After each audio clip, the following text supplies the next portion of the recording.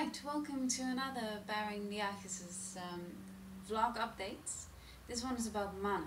Um, manna is one of the uh, Orphic incense offerings that uh, are specified to give to the gods, for example Apollo, Artemis.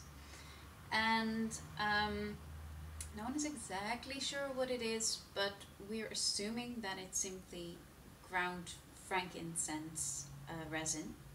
So I'm going to show you how to do that today and I'm only also going to show you how pretty it is when it burns up.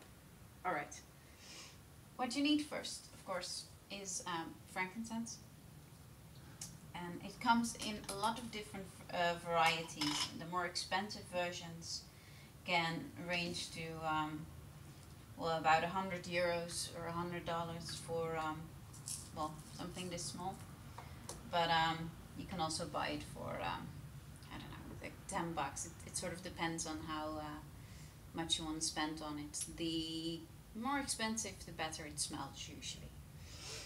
Alright um, and that's simply what you do is you take some and you ground it which can actually take a while and be careful because they shoot.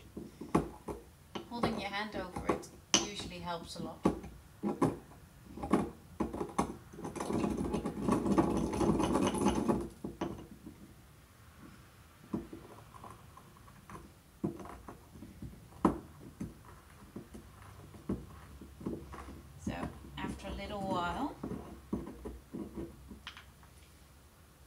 the larger chunks turn into a sort of powder.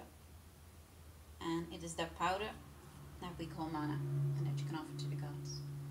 Of course, this vlog wouldn't be any fun if I didn't show you what that looks like. So we take my basic ethanol mixture as per usual.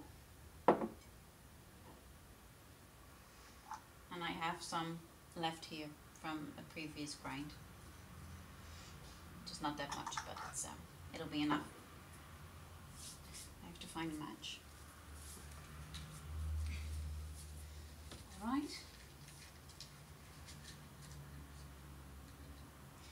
You can probably do this um, the same as with libation. You just you offer him or whatever you want. You do the purification before that and then you can offer. And I wanted to show you this because the first time you really need to watch out what you're doing because um, frankincense, when powdered, so when we call it manna, does this.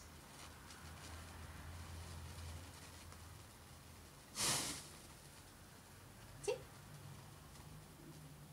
So be very, very careful when you burn this and always make sure that it can't touch anything around there.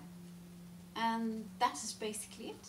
A very short warning actually about manna and the proper way how to make it. Thank you for watching.